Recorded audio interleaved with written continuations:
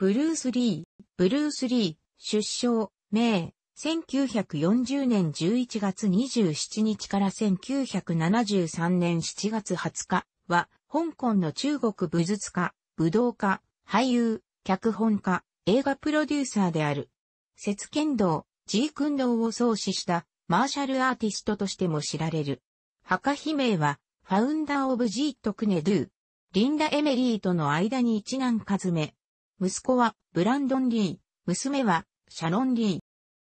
父親の中国系で、関東演劇の役者の理解戦と、コーカソイド、中国人のハーフの母親、中国名、何愛ユ、香港の実業家の娘が家族を連れて、長期アメリカ巡業中、辰年の1940年11月27日、辰の時、午前8時に、サンフランシスコの中華街の病院で生まれた。5人兄弟の次男、兄弟には、姉、フィービー・リー、リアキマドカ、アグネス・リー、リアキ・オートリ、兄、ピーター・リーがいた。弟、ロバート・リー、リブリ・アキラは、8歳下である。映画には、芸名のリシャオロンで出演している。生後3ヶ月余りで、サンフランシスコで制作された映画、金門女、中国に出演した。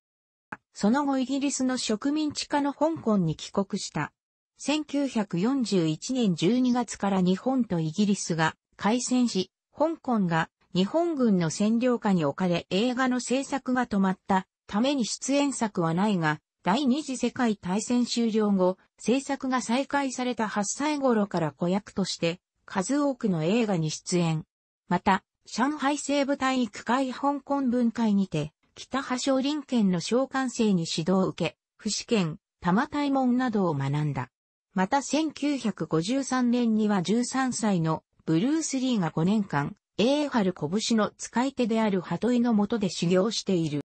何不自由なく育ったリーの将来を心配した父は俳優の不良息子として悪名を知られた香港から話し、渡米を命じる。18歳のリーはわずか100ドルの所持金で単身渡米し、シアトルに移り住む。新聞配達のアルバイトをして、職業訓練学校のシアトルセントラルカレッジに通い、高校卒業資格を得て、ワシントン大学哲学科に進学。勉学に励む傍ら、ブリハン国術館を開いて、中国武術の指導を始める。高校で哲学の講師もしていた。その頃、同じ大学の医学生で、道場の生徒だった、スウェーデン系イギリス人、リンダ・エメイと結婚。その後、大学を中退し、道場経営に専念。節剣道、ジェットクネドゥ、JKD、ジークン道を創始する。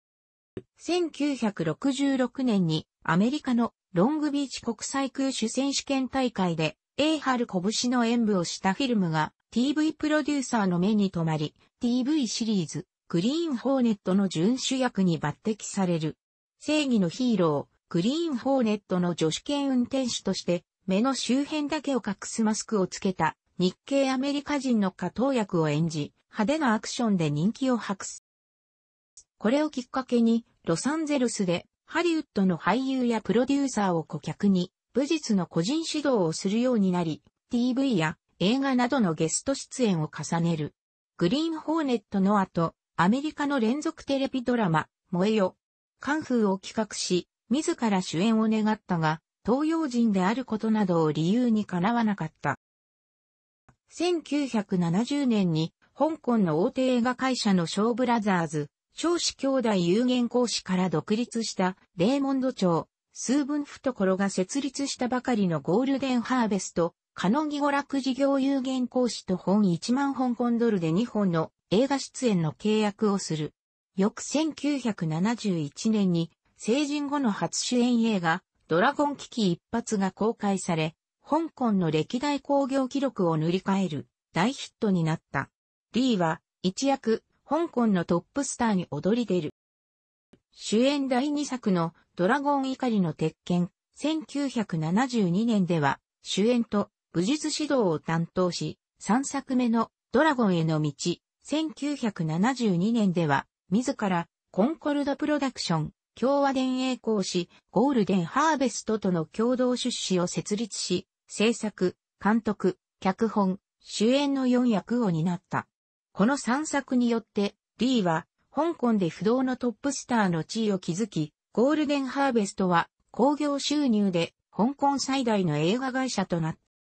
た。1972年秋から、リーの2作目の監督映画、死亡遊戯の撮影がスタートする。しかし、ハリウッドのワーナーブラザースとコンコルドプロダクションとの合作映画、燃えよドラゴンの企画がち上がり、死亡遊戯の制作は中断される。その後ゴールデンハーベスト社からサモハン近郊にこの作品を完成させるように指示が出た。サモハン近郊は彼のスタントにユンワーやユンピョウを起用し、この作品が完成となった。1973年1月からアメリカと香港の合作映画、燃えよドラゴンの撮影が始まる。かつて、燃えよ、カンフーの主演が叶わなかった D の意気込みは、並々ならぬものがあり、エキストラへの武術指導に始まり、脚本や撮影にも詳細な意見を出した。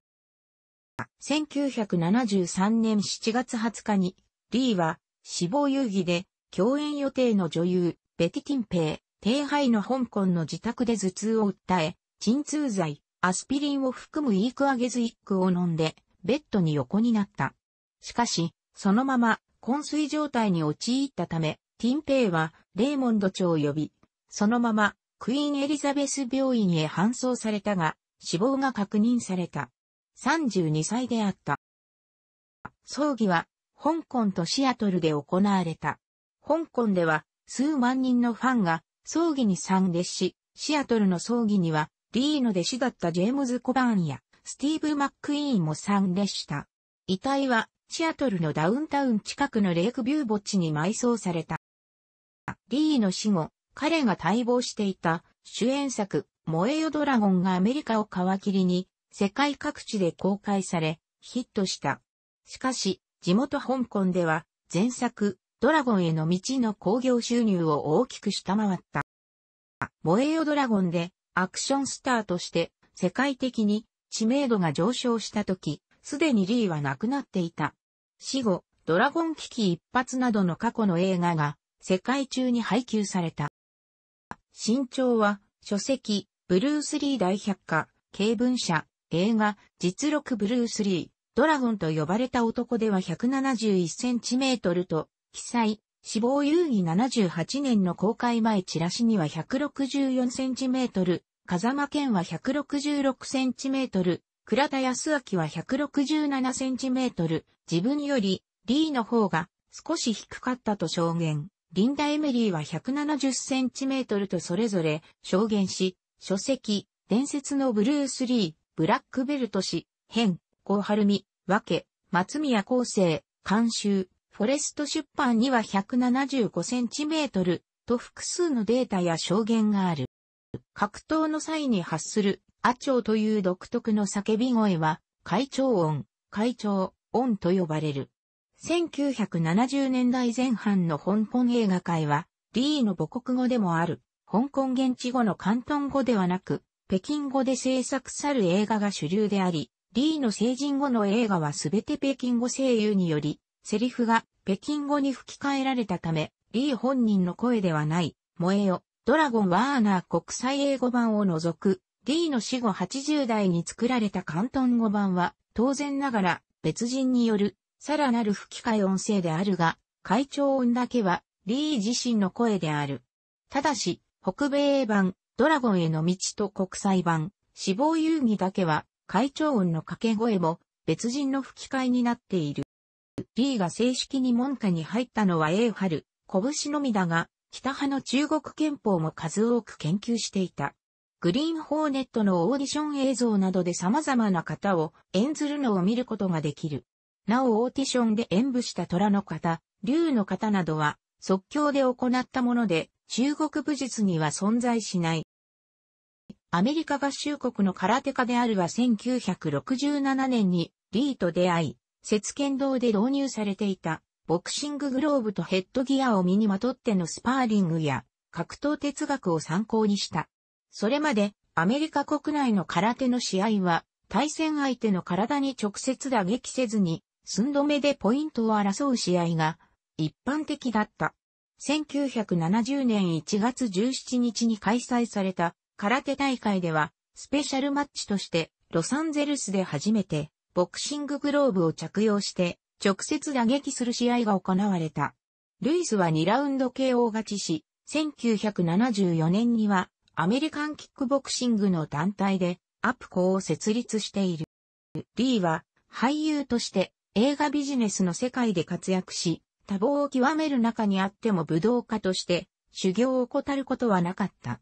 海外でのロケーションなどでしばらく自宅を離れるときは専用の運動靴を持参し、ロケ先でトレーニングを行っていた。暇さえあれば、ボールを繰り返し握る、握力向上の鍛錬やパンチをできるだけ、早く打ち続けるトレーニングを行っていた。モハメド・アリのビデオをすべて所有し、トレーニングに利用していた。リー自身はサウスポースタイルを基本としていたため、オーソドックススタイルのアリのビデオを鏡に映して模倣し、その動きが本来の自分の動きになるまでトレーニングした。筋力トレーニングとしてアイソメトリックトレーニング、アイソメトリクスを積極的に取り入れていた。ダンスの才能もあり、チャチャが最も得意だった。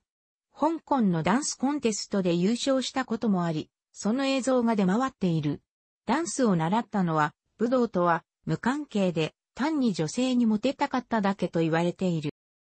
哲学を専攻していたこともあり、西洋及び東洋思想に精通していたばかりか、ナポレオンヒルからジット・クリシナムルティまで研究していた。その成果は、節剣道の思想面に活かされている。体を壊し、数ヶ月間の療養生活を余儀なくされた期間、数多くの本を読み漁りそれらを合わせると図書館が出来上がるほどであった。また画才もあり、古代中国の武術家のイラストでデッサン力や構図の構成力が発揮されている。燃えよドラゴンで見せたヌンチャクが代名詞のようになっているが、劇中で使われたのは正確には、タバクと翼という狩りの武器である。公式な死因は、脳浮腫である。司法解剖の結果、微量の大麻が検出された。検視報告によると、D の脳は 1400g から 1575g、13%の増加まで膨らんでおり、頭蓋内圧の更新により、脳幹が圧迫されて死に至ったと考えられている。D は、燃えよドラゴンの撮影約1ヶ月後の1973年5月10日に、ゴールデンハーベストのスタジオで、音声吹き込み中に、混沌し、意識不明の重体に陥り、そのまま病院に運ばれ2時間後に回復するも、入院し、13日には退院している。その後、渡米死精密検査を受けるが、結果は異常なしであったとされる。脳浮腫が起きた原因は、背中の古傷に長年使っていた痛み止め薬と、その晩に服用した頭痛薬の副作用と言われている。一部ですでに D の脳にあった腫瘍に、これらの薬が作用して、破裂を起こし脳浮腫になったという説もあるが、検視解剖では脳浮腫が確認されているのみで、脳腫瘍並びに、その破裂による脳内出血の報告はない。死因に関して紛糾したため、香港成長は1973年9月に死因究明裁判を開いた。同法廷書記長の反憲政によると、イギリス統治下にあった香港で出された正式な判決は死因不明である。脳浮腫が起きた原因は確定されなかった。イリノイ州シカゴにあるクック郡医療検査官事務所のジェームズ・フィルキンス。ジェームズ・フィルキンスは死因を転換であるとしている。フィルキンスは検視解剖による死因の公式発表にも誤りがあると指摘している。報告書通り、リーの死因が鎮痛剤による過剰反応なのであれば、それはアナフィラキシーショックを起こしたとになる。しかし、この場合は首のかぶれという外傷を呈するものであり、報告書の目立った外傷はなしとの記述と矛盾するとして、D の死因はスーデップ、転換による突然死であると主張している。この症状が認識されたのは1995年以降のため、死亡当時は可能性が検討されていなかった。香港で少年期、青年期に出演した作品。いくつかは香港、アメリカなどで VCD、DVD がリリースされている。日本では2003年にブルース、リーウルティメイトコレクション、リシャオロン的追悼秘蔵収集、ブルースリーアルティメットコレクションのタイトルで販売された。リーの死後、未公開映像として公開されたもの。リーが間接的に関係する映画、未発表フィルムを使った映画、ドキュメンタリー映画、電気映画など。その他、リーの映像を一部だけ使い、ブルース・リー出演と銘打った映画は、キリン手のひら、1973年、小キリン、ユニコーンちゃん主演。武術指導をしている姿を盗み撮りして、無断使用など数多い。詳細は、ブルース・リーが主演、出演している映画、ドラマのそれぞれの項を参照。